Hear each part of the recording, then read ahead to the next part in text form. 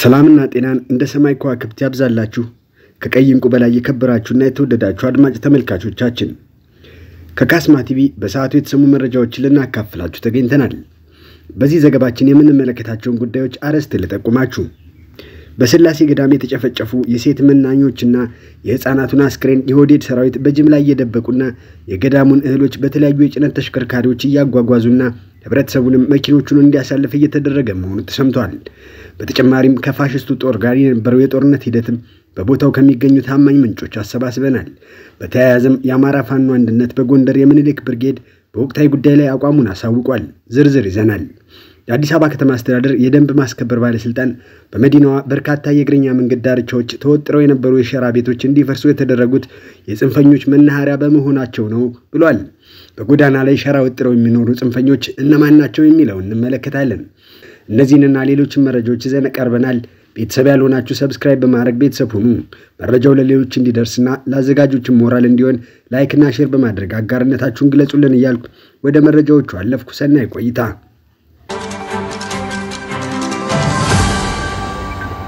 በሸዋ መራቤቴ ሚዳ ወረሞ የገባው የኦህዴድ ብልጽግና አገዛዝ ጦር በከባድ መሳሪያ በፈጸመው ጥቃት አንዲት እናት ከነ ልጇ መገደላቸው ተሰማ። በሸዋ መራቤቴና ሚዳ ወረሞ የገባው የኦህዴድ ብልጽግና አገዛዝ ጦር ግንቦት 22 እና ግንቦት 23 በከባድ መሳሪያ በፈጸመው ጥቃት አንዲት እናት ከነ ልጇ ስለመገደላቸው አሚማ ከአካባቢው ነዋሪዎች ማጣራት ችያለሁ ብለዋል።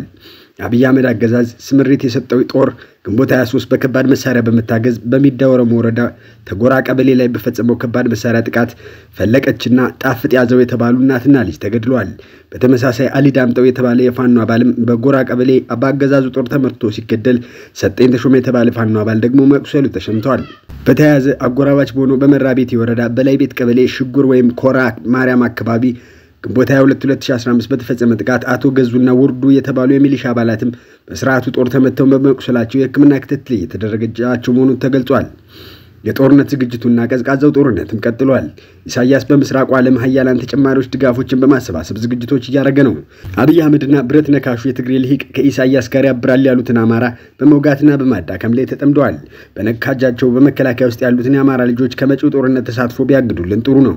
የአማራ ልጅ ከእንግዲህ በጠላት ጦርነት ገብቶ የሚከፍለው ዋጋ ሊኖር አይችልም። አገር ተደፈረች የሚሉ አራጆች ናቸው። አማራ ነህ ብለው እያረዱ ኢትዮጵያ ተነካች የሚለውን ጨዋታ አይሰራም። ጠላታችን የኦሮሞማ አራማጁ ስብስብ ነው። ጦርነታችንም እዚያው የኦሮሞማ ቀጠና ፖሊስ የመሆን ህልምም በአማራ ደም አይሳካም። በተያያዘም በስላሴ ገዳም የተጨፈጨፉ የሴት መናኞችና የህፃናቱን አስክሬን የኦህዴድ ሰራዊት በጅምላ እየደበቁ መሆኑ ታውቋል። ገዳም ውስጥ ከነጫማቸው ዘልቀው የገቡት ገዳይ ኃይሎች የአባሎቻቸውና የተቀረውን የገዳማውያኑን አስክሬን ሳይነሳ ተሳቢና ሲኖትራክ በማስገባት የገዳሙን እህልና ሌሎች ቁሳቁሶች እየዘረፉ በመጫን ላይ መሆኑን የዓይን እማኞች ከስፍራው ገልጸዋል። ትናንት በሞርተር በክላሽና በስለት በመናኝ ሴቶች ገዳሙ በሚያሳድጋቸው ወላጅ አልባ ህጻናትና በወንድ መነኮሳት ላይ የኦህዴድ ብልጽግና ሰራዊት ዘግናኝ ጭፍጨፋ መፈጸሙ ይታወቃል። የጦር ወንጀልም ፈጽመዋል። በዚህ የተደናገጡት የሰራዊቱ አመራሮችና አዛዦቻቸው በጦር ወንጀል ላለመጠየቅ በዛሬው ዕለት የሴት መናኝና የህፃናትን አስክሬን በገፍ እየደበቁ መሆኑ እንደሆነ የዓይን እማኞች ገልጸዋል። የንጹሐኑን አስክሬን ከመደበቅ ጎን ለጎን የስላሴ አንድነት ገዳም እህልና ንብረት ተዘርፎ እየተጫነ እንደሆነ ታውቋል። ከገዳሙ የሚወጡ ተሳቢና ሲኖትራክ የጭነት መኪኖችን ህዝቡ እንዲያሳልፋቸው ጥሪ ቀርበዋል። በአጠቃላይ በገዳሙ የሚገኙ ትንንሽ የመነኮሳት ማደሪያ ቤቶች፣ የገዳሙ የቁም ከብቶች፣ የእህል መፈልፈያ ማሽኖች፣ የመብራት ኃይል ማመንጫ ተርባይኖች፣ መስቀሎችና መጽሐፍት ሆን ተብሎ በትናንትናው ዕለት እንዲቃጠሉ ተደርጓል ሲሉ ከስፍራው ነዋሪዎች ገልጸዋል። ደብረ ኤልያስ የሆነው ይሄ ነው። እነሆ በብሪት የተወጣጠረው ህግ የማይገዛው ከአሸባሪዎች የከፋው ነውረኛው የኦሮሞማ ሰራዊት እንደ ወንዶቹ መጣው ብሎ ወደ ምስራቅ ጎጃም ደብረ ኤልያስ ወረዳ ቀና። የአምባገነኑ ዕቅድ ለአማራ ህዝብ እጅግ አደገኛ ነበር። የአማራ ብሔር ተወላጅ የሆኑ የመከላከያ ሰራዊቱ አባላትን ከአማራ ህዝባዊ ኃይል ጋር ለማዋጋት አቅዶ ከስምንት ቀናት በፊት ከደብረ ኤልያስ እስከ ቡሬ በሚዘልቀው የአባይ ሸለቆ ገባ። ጦርነቱም ተጀመረ። ከስድስት መቶ በላይ የሚሆኑ የአማራ ብሔር ተወላጆችና ከአርባ በላይ የሚሆኑ የሌላ ብሔር ተወላጆች መሳሪያቸውን ለህዝባዊ ኃይሉ አስረክበው ወደ ጊዜያዊ ማቆያ ገቡ። ይህ የሶስተኛው ቀን የውጊያ ውሎ ውጤት ነው። ይህን የገመገመው የኦሮሞ ኃይል እንደገና የኦሮሚያ ልዩ ኃይልን የመከላከያ ልብስ በማልበስ ከአምስት ሺህ እስከ ስድስት ሺህ የሚደርስ ኃይል ይዞ እንደ አዲስ ውጊያ ከፈተ። አካባቢው ገበሬ የተወሰኑ ፋኖች በአጠቃላይ ህዝባዊ ኃይሉ ተገዶ ወደ ውጊያ ገባ።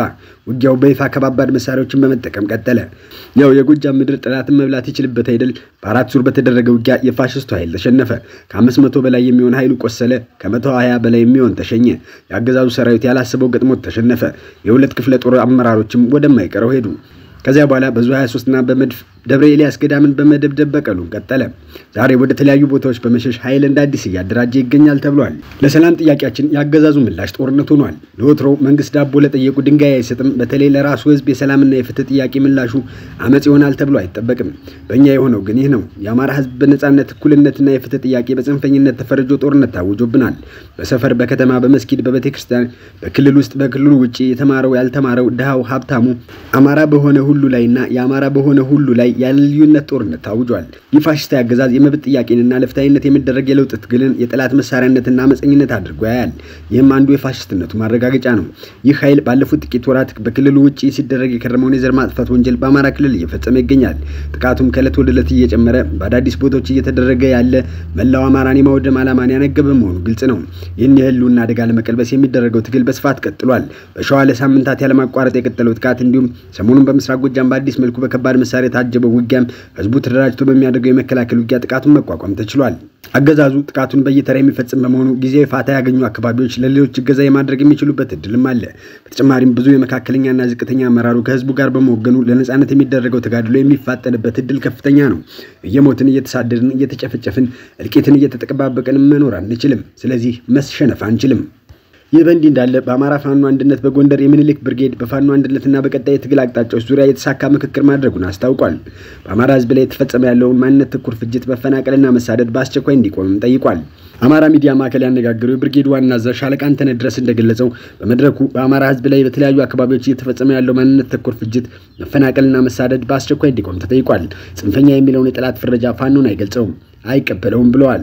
ግንቦት 18 2015 በተካሄደው በዚሁ የምክክር መድረክ ለተሳታፊዎች የምሳ ግብዣ መርሃ ግብርም ተከናውኗል።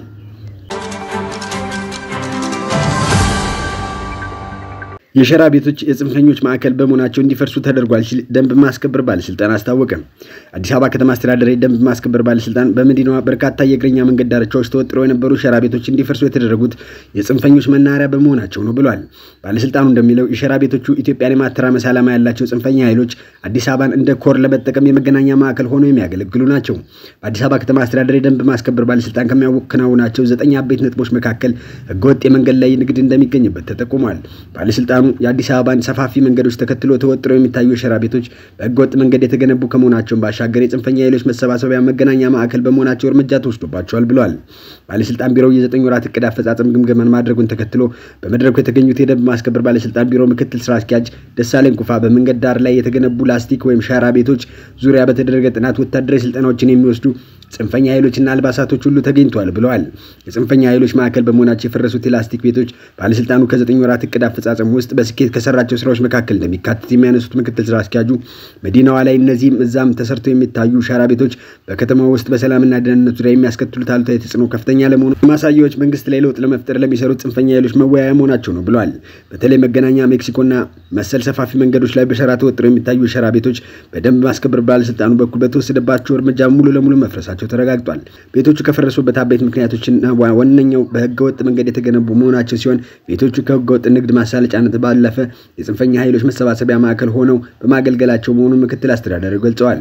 አሻም ምክትል አስተዳዳሪው ላስቲክ ቤቶቹ የፈረሱት የጽንፈኛ ኃይሎች መሰባሰቢያ ማዕከል በመሆናቸው ነው ማለታቸውን ተከትሎ እኚህ ጽንፈኛ ኃይሎች ማን ናቸው ሲል ጠይቃቸዋለች። የስራ ኃላፊው በምላሻቸው ጽንፈኛ ኃይሎች ማለት ስልጣኑ ከእጃቸው እንዳይወጣ የሚፈልጉና መልሰው ለማስገባት ፍላጎት ያላቸው ሲሆን በዋናነት የብልጽግና መንገድ የማይመቻቸው አካላት ናቸው ብለዋል።